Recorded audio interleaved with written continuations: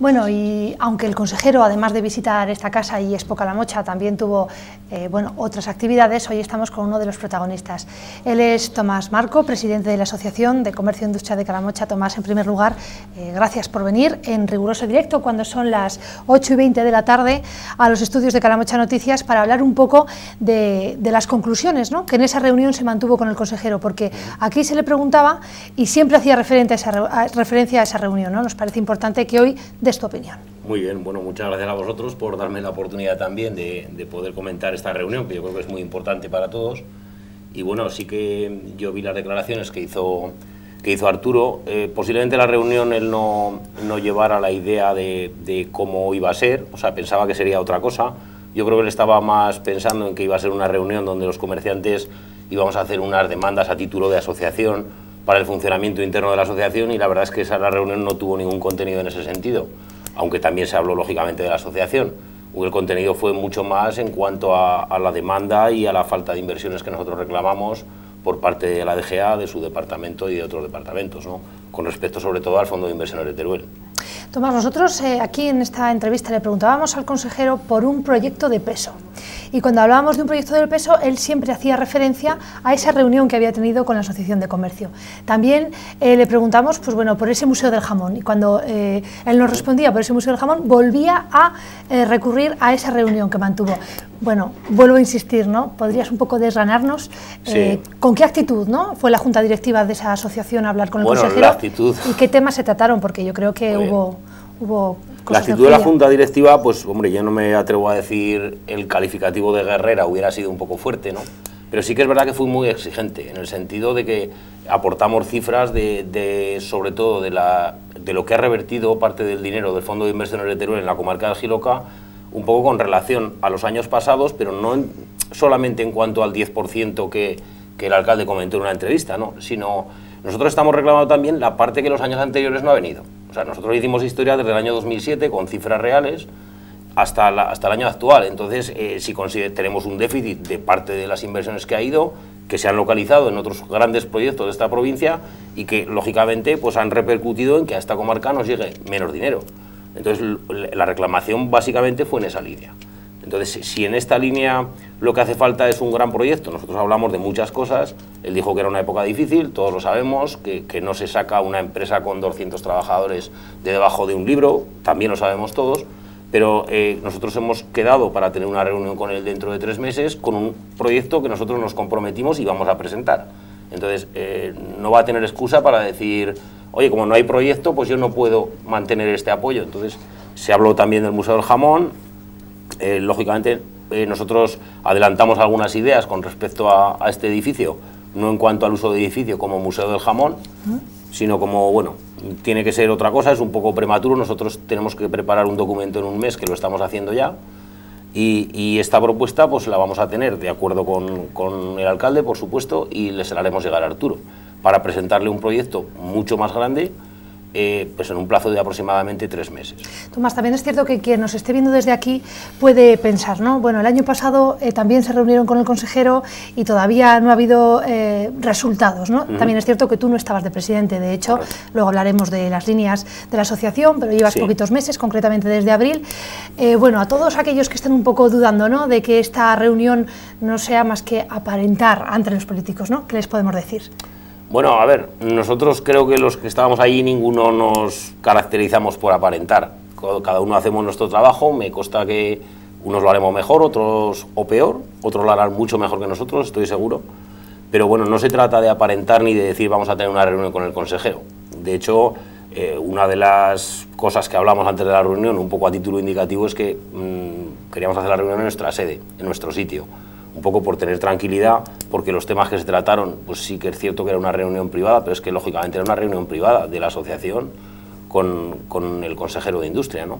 Y entonces no se trata de aparentar, o sea, se trata de reclamar lo real y nosotros vamos a trabajar en ese sentido. Has dicho que en tres meses eh, pretendéis reuniros con él de nuevo y quizás pues, esas, esas ideas que sean más maduradas eh, las podáis comentar al consejero. ¿no? Eh, te vuelvo, bueno, te digo un poco lo que le dije a él. ¿no? En tres meses te podrás sentar aquí y contarnos o avanzarnos esos proyectos que lleves en mente. Mm, no es que en tres meses me pueda sentar, es que si me dais la oportunidad me sentaré y entonces ese proyecto que nosotros tenemos se va a hacer público. O sea, no, si alguien está pensando que esto es un proyecto donde vamos a llegar y poner una fábrica, pues, pues no van los tiros por ahí, porque lógicamente para eso hace falta inversores. Entonces, sí que se puede hacer otras actuaciones encaminadas lógicamente a eso y, encaminadas a mover un poco el desarrollo de nuestra comarca. O sea, al final eh, podemos hacer actuaciones comerciales, podemos hacer muchísimas cosas. Pero si, si partimos de la base de que cada vez estamos menos población, que la población está más envejecida, nosotros tenemos que intentar fijar población y sobre todo fijar población de gente joven. Entonces se hablaron de muchos temas, no se habló exclusivamente del Museo del Jamón, se ha hablado de temas de formación, eh, no fue una mala idea ni mal recogida, eh, lógicamente todos sabíamos, porque una cierta experiencia tenemos, que en una reunión de este tipo no íbamos a arrancar ningún compromiso, pero sí que transmitir un malestar de cómo está la gente, un malestar de, de empresas y comercios de todos los sectores, porque en esa reunión, representando a los comerciantes, había empresas de comercio, había empresas de industria y habría todo tipo de empresas, ¿no? Entonces era un poco que él viera el sentir de la gente. Aquí en la entrevista le preguntamos por el matadero. Oye, ¿en aquella reunión salió el matadero a relucir? Sí, claro, cómo no, cómo no iba a salir el matadero a relucir. Eh, de hecho salió en, un poco en dos vertientes, ¿no? Porque eh, cuando estábamos, nosotros lo que no queríamos con la reunión era, en primer lugar, centrarla exclusivamente en el matadero. Lógicamente es, ha sido bueno, una baja empresarial, por llamarlo así, importantísima para, para Calamocha y para la comarca, y trabaja muchísima gente. Entonces sí que eh, a nosotros nos adelantó que había unos contactos, que era muy prematuro, pero que no es, tampoco era excesivamente prematuro, o sea, que las cosas más o menos iban por un camino mm, realmente positivo, ¿no? Entonces, también le hicimos saber que, a ver, que nosotros con que nos abrieran el matadero mm, no es que no nos íbamos a conformar. O sea, lógicamente estamos hablando de abrir una empresa que ha cerrado. No estamos hablando de destinar unos fondos que yo creo que legalmente o por lo menos la palabra legal igual a lo mejor no es apropiada, pero sí que nos corresponden y que no han venido. Entonces, eso es otra cosa. O sea, nosotros tenemos que hacer algo más porque lo del matadero casi lo damos como una obligación que hay que hacer. Como presidente de la Asociación de Comercio e Industria de Calamocha y también bueno, persona ¿no? que estás al cargo de todos los comercios que forman esa, asociación, ¿crees que nuestro tono es poco reivindicativo? No, yo creo que no. Lo que pasa es que hay que diferenciar un poco los, los tonos reivindicativos. Entonces hay gente que elige eh, quemar ruedas en una carretera, hay gente que elige romper escaparates y nosotros tenemos pues, otra manera de hacer las cosas. Eso no quiere decir que si tenemos que elevar el tono reivindicativo lo hagamos. O sea, yo se lo, se lo dije a Arturo y, se lo trasladé así, tal cual te lo comento a ti. O sea, yo le dije que si, si resulta que a nosotros se nos hace menos caso porque no gritamos o porque no hacemos a ver, algunas cosas públicas o algunos actos públicos que a otros les parece muy bien, pues si tenemos que llegar a ese extremo, pues tendremos que llegar. O sea, si, si el camino para que nos den lo que consideramos nuestro es ese, pues habrá que seguirlo. Yo espero que no sea así. En cualquier caso, eh, por aparcar un poco ¿no? el tema de esa reunión con Arturo Leaga, eh, se pensó en varios proyectos, se está trabajando en ello y bueno, próximamente nos, nos, informarás ¿no? de nuevas. Sí, lógicamente en cuanto tengamos, bueno, hay que tener en cuenta que la reunión fue hace una semana prácticamente. Entonces nosotros ya hemos tenido dos reuniones, se ha fijado un grupo de trabajo, que parte de ese trabajo ya venía elaborado de la anterior junta de la Asociación de Comerciantes y entonces, bueno, pues eh, se ha fijado un grupo de trabajo porque tampoco es muy operativo que toda la Junta estemos haciendo una Junta semanalmente porque todos tenemos obligaciones, ¿no? Pero, pero sí que se ha fijado ya un, bueno, un grupo de trabajo y un pequeño calendario.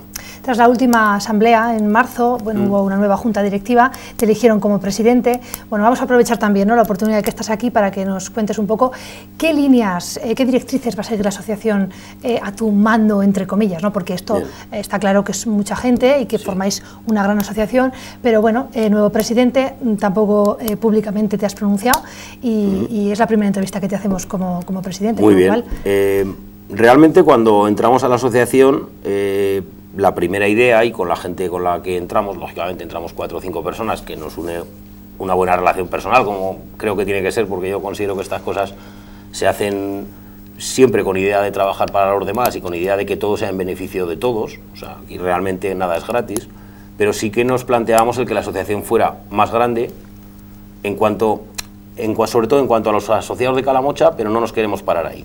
O sea, posiblemente el camino de la asociación pase por, no sé si comarcalizarse o hacerse un poco más amplia de lo que es exclusivamente Calamocha. Al final, Calamocha depende de muchos municipios que hay alrededor y muchos de los municipios que hay alrededor también dependen al revés de nosotros. ¿no? Entonces yo creo que el, trabajo lo podemos hacer un poco todos en conjunto porque además lo que tenemos que exigir y defender los intereses que nosotros tenemos lo haremos mucho mejor entre todos. Entonces, para esto hace falta una asociación que no simplemente sea de comercio, que sea de comercio, que sea de industria, que sea de autónomos del tipo que sea, que ya los hay. Nosotros en la asociación, bueno, pues han entrado gente que son constructores o albañiles, o como lo quieras llamar, han entrado gente que son profesionales liberales.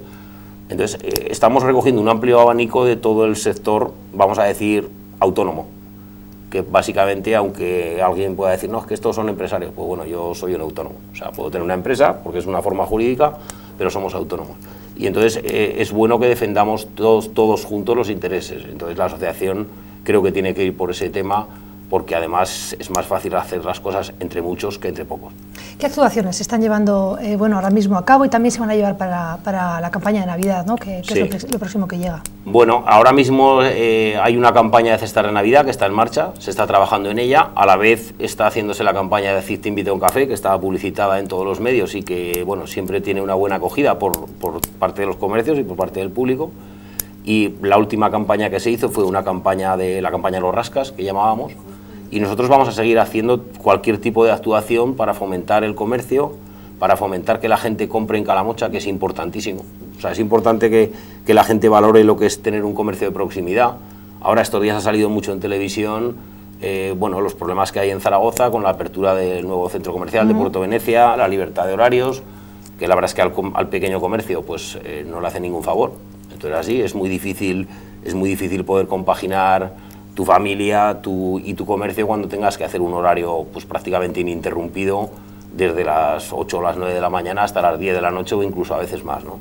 Entonces, eh, todos tenemos que valorar eh, el comercio que tenemos aquí y hombre, yo invito a la gente a que valoren muchas veces lo que supone el ir a comprar a un centro comercial a Zaragoza o a Valencia. Entonces, eh, yo estoy, vamos, todos sabemos perfectamente que, que la variedad de productos no tiene nada que ver, eso está claro, pero también tenemos que tener en cuenta la parte económica que no conlleva exclusivamente el precio del producto que tú compras allí, sino los gastos añadidos que te suponen ese desplazamiento. ¿no? Entonces, eso es mirar solo la economía, pero yo creo que hay que mirar también un poco más allá. O sea, si queremos tener un buen comercio, también lo tenemos que mantener haciendo uso de él. Tomás, hablabas ahora de pequeños comercios y enlazando el tema, mm. eh, bueno, queremos hacerte una pregunta, mañana, luego va a salir la noticia, pero me parece importante eh, hay 34 comercios de la calle Real que van a hacer una serie de iniciativas eh, bueno, para estas Navidades. Nos han llegado unas cuantas, una pregunta en concreto eh, por internet, pero bueno, antes de hacértela me gustaría que dices tu opinión, porque bueno, llegan muchas preguntas y, creo que por tu parte bueno, tienes que explicar tu situación.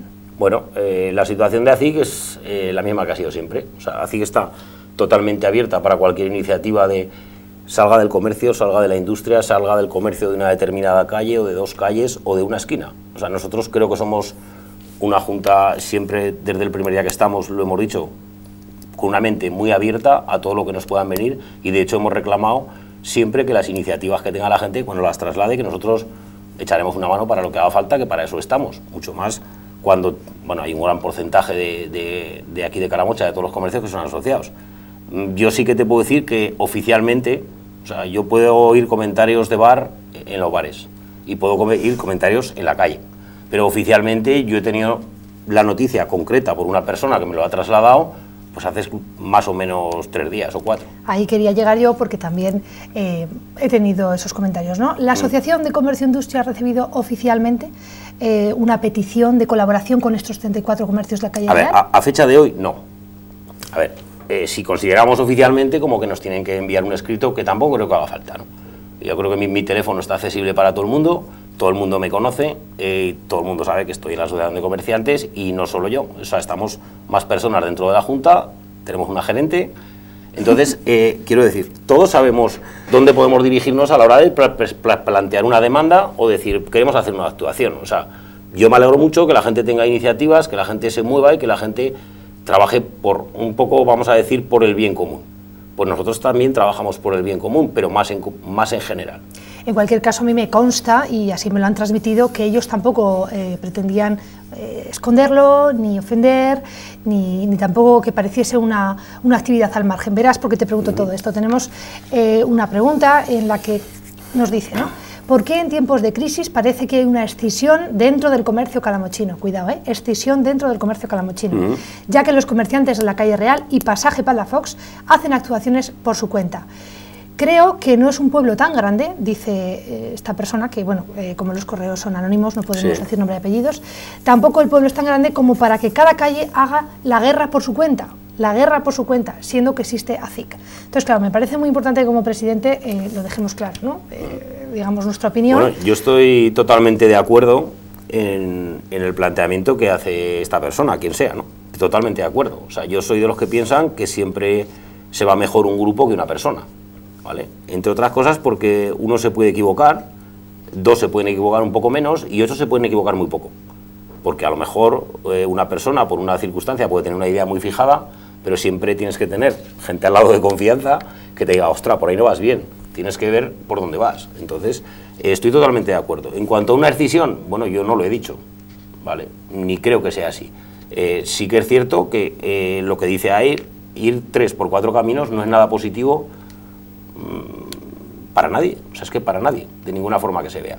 Si nosotros hemos tenido conocimiento este año, claro, comentarios de calle tenemos muchos. A mí comentarios de calle me han dicho que, como el año pasado parece ser, que hicieron alguna solicitud y no se atendió, con lo cual tampoco estoy de acuerdo.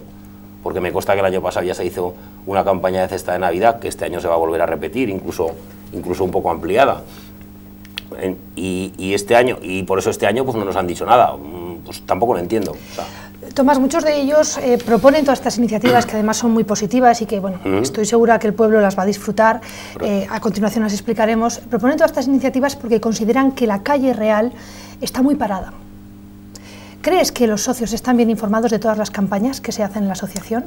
Hombre, yo estoy seguro que los socios, están, los socios de la CIG están bien informados de todas las campañas que se hacen. Otra cosa es que a veces se valoren las campañas en la medida de lo que se tengan que valorar. O sea, si, hacemos un poco de memoria, y llevo poco tiempo de presidente, eh, si no recuerdo mal, el mercado de saldos se ha hecho en la calle Real este verano. Eh, si tampoco recuerdo mal, el mercado de invierno pasado, que yo no era presidente de los comerciantes, pero sí que participé en él como un asociado más, eh, fundamentalmente, había mucha gente, o muchos expositores en ese mercado de invierno que se hizo en la feria, pero yo creo que participaron bastante en la calle Real. Estamos de acuerdo que en la calle Real hay muchos comercios, pero también hay muchos comercios en el Paseo de San Roque, también hay muchos comercios en Corona de Aragón, y no te voy a contar los comercios que hay en la carretera, e industrias. Entonces, en la asociación yo siempre he sido partidario y, creo que en esa línea eh, lo he dejado muy claro desde el principio, que las actuaciones debemos apoyarlas, por supuesto, cada sector dentro de la asociación, cuando las ideas o los actos que se hacen son encaminados a ese sector y hay que apoyarlos, o sea, tanto con trabajo como una parte, una pequeña parte económicamente. También en parte por no, por no sentar diferencias con respecto a los demás asociados que no comparten ese tema. ¿no? Pero yo creo que hay que pensar un poco más de en un sentido global, porque yo entiendo que la calle Real, entiendo que está tan parada como el Paseo de San Roque, como Corona de Aragón y como las demás. Entonces, posiblemente, gran parte de las cosas que se han hecho ahí se podrían aprovechar en la asociación, incluso para que fueran también positivas para otros comercios que no están en la calle real, pero están a 50 metros de la calle real, que los hay. Entonces, creo que en un pueblo como Calamocha, mm, o sea, puedo entender que en Teruel hay una asociación del casco histórico, hasta cierto punto porque Teruel también es pequeño, pero es muchísimo más grande que Calamocha. Pero en Calamocha, o sea, eh, hacer actos donde, localizados en una calle, por supuesto que es muy bueno y por supuesto que la gente va a tener que trabajar, se lo va a tener que currar y van a tener que hacer también una pequeña apuesta económica, pues creo que es así. Pero eh, es más lógico que se puedan hacer actos donde participen, mm, no vamos a decir 30 comercios, vamos a decir 65 o 70. Al final, lo que es repartido, si es en cuanto a costes, es mucho menor y los beneficios, si son repartidos, como son más grandes, también son más. En cualquier caso, para zanjar el tema, las puertas de la asociación están abiertas para recibir todo tipo de iniciativas. Por supuesto, yo así se lo trasladé a, una persona y, le dije que la asociación, por supuesto que siempre me preguntaron, pero la asociación está dispuesta a hablar. Digo, hombre, parece mentira que me preguntes eso. O sea, la asociación siempre está dispuesta a hablar y siempre está con la mano tendida, pero claro, entiendo que las formas no han sido muy correctas. Para finalizar la entrevista, Tomás, y antes de pasar a esa noticia, para que también los espectadores, dejando la opinión de la ONU, puedan eh, ver y, también observar por ellos mismos cuáles son esas iniciativas y si quieren eh, se apunten. Para todos aquellos que no sean eh, asociados, nuevos emprendedores que han abierto negocios hace poco, bueno, porque es bueno asociarse y, bueno, un motivo, ¿no? Para que también se lo planteen en sus casas al menos. Bueno, a ver, asociarse dentro de tu sector o siempre es bueno, quiero decir. Si aquí hablamos de un sector genérico que es el sector autónomo, emprendedor o como lo quieras llamar, siempre es bueno en cuanto a compartir experiencias con los demás. La gente sobre todo que empieza, eh, yo en su día empecé también, es cierto que yo me encontré parte de, parte de mi negocio hecho, porque lo había hecho mi padre con, con mi tío y tal, pero es cierto que nosotros también emprendimos otras cosas y ahí está, ¿no? Entonces, eh, muchas veces pues te encuentras eh, perdido, tú tienes tus ideas, tienes tus cosas, es muy bueno compartir cosas, es muy bueno saber que tienes un contacto, que en este caso es ACIC, a través del cual te puedes mover con Cámara de Comercio, con confederaciones de empresarios, con muchas asociaciones. Tenemos una persona que es la gerente, ¿vale? Que en un momento determinado te puede abrir, no solamente abrir puertas, sino decirte, pues mira, tienes que ir por aquí, tienes que ir por aquí, porque las experiencias todas se comparten. Y luego también se, comparten las malas experiencias. O sea, hay muchas cosas que se hablan, problemas que puedes tener en, en negocios, otra serie de cosas que todas las compartimos y las ponemos en la mesa. Entonces, el estar asociado siempre es positivo. O sea, si vamos a pensar solamente en que estar asociado nos limitamos a pagar una cuota porque, bueno, ¿y yo qué saco de esto? Que a mí hay gente que me lo ha dicho. hay gente que habría asociarse y dice, bueno, ¿para qué me voy a asociar? ¿Y yo qué saco de esto? Vamos a ver, eh, tú más o menos conoces la trayectoria de la asociación. Yo he sido asociado prácticamente desde el inicio de la asociación. La asociación nació, mm, digamos, era muchísimo más comercial que industrial y yo no he pensado nunca en que yo tenía que de alguna manera revertir en mi cuenta, no sé muy bien cómo, las cuotas que yo he aportado a la asociación. O sea, eh, se hacen muchísimas campañas, se hacen muchas cosas, pero eso no es el todo. O sea, hay otros proyectos que yo creo que la gente tiene que conocer, que no simplemente se limitan a una campaña de calle en la cual la asociación está trabajando. Hay veces que a la hora de algunas empresas que presentan subvenciones, la asociación se preocupa de que esas subvenciones vayan por su camino, incluso apoyándolas. También estamos en la junta directiva de ADRI. También hay una serie de cosas y muchas veces todas estas cosas la gente no las valora en su medida. Tomás, eh, muchísimas gracias. Eh, pues nos vamos ya de tiempo, me lo dice mi compañero, muchísimas gracias. Eh, nosotros hemos creído importante que estuvieses esta semana, además esta semana porque anteriormente entrevistamos al consejero y hacía apelación a esa reunión. También hemos, aprovechado, ya que te tenemos aquí, para hablar un poco de la asociación. Mucha suerte como presidente y en todas las campañas que hagáis. En cualquier caso, te esperamos aquí con nuevos proyectos ¿no? y nuevas ideas. Bueno, en cuanto esto esté un poco más adelantado, tenés por seguro que que lo os vamos a comunicar en qué estado está para que todo el mundo lo sepa y hombre también os agradecería que esta cierta presión que nosotros estamos poniendo en los políticos para que recibir lo que creo que tenemos que recibir, pues desde aquí también os echéis una mano y nos ayudéis a que la gente conozca realmente cómo está la comarca y que realmente necesitamos lo que estamos pidiendo. Gracias, Tomás. Muchas gracias.